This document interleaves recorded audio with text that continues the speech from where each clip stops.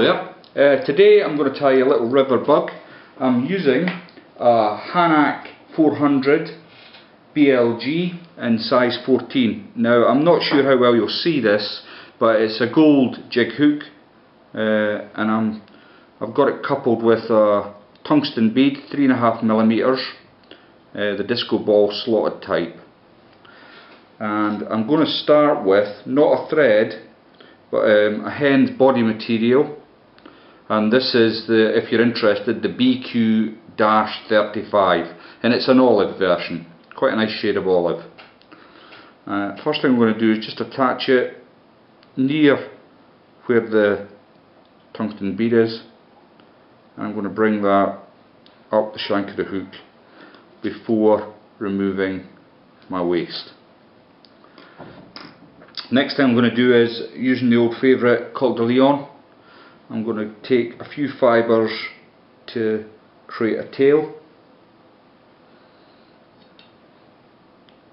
I'll just catch that in with a couple of turns, just check the length, ideal, and I'll take that down a bit, locking it into place.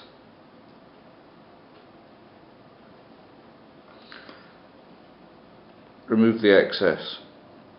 Uh, this fly, uh, I call it the, the Jock Sprat, but it was inspired by uh, a fly type by Kieran Jenkins that I had spotted in one of the mags some time ago and he'd used um, a material called blobtail which I've never managed to get my hands on but this stuff does more or less the same job.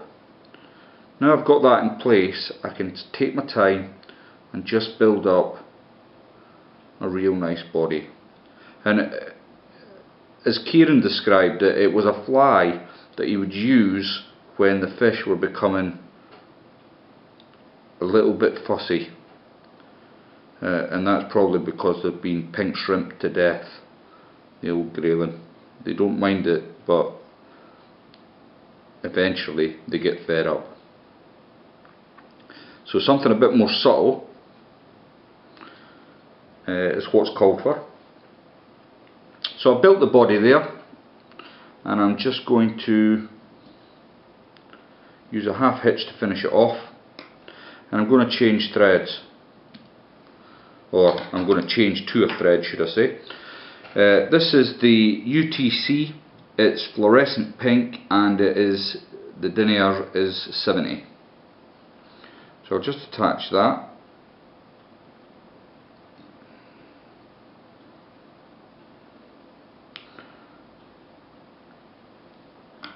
Now for grayling I could just carry on and um, make a nice bulbous head here and then use a UV resin or varnish for that matter to coat it. And that'll be a, a very slim profile fly that'll will fall through the water column very quickly.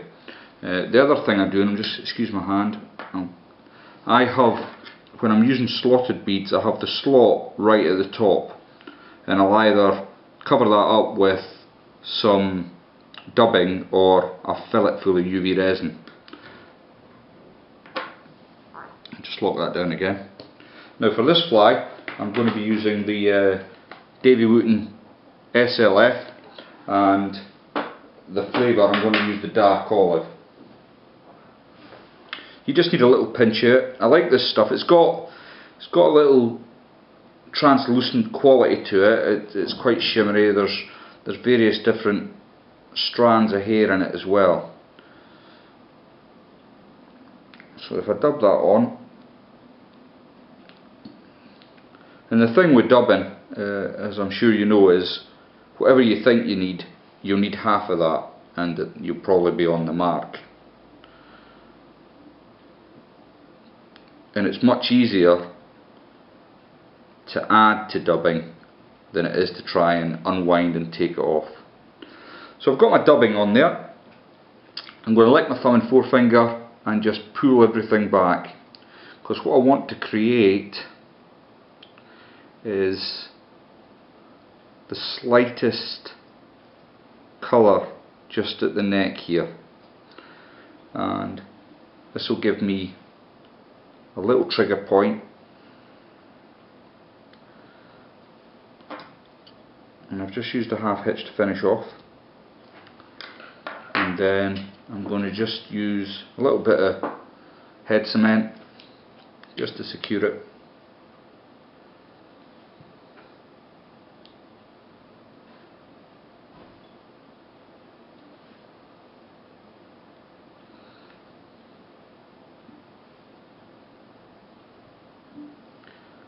like so.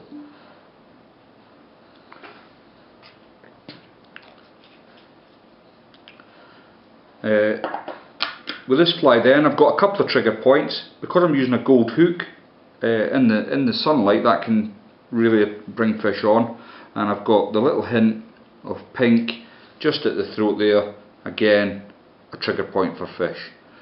I hope that's uh, been of some use to you. Uh, thanks very much for watching.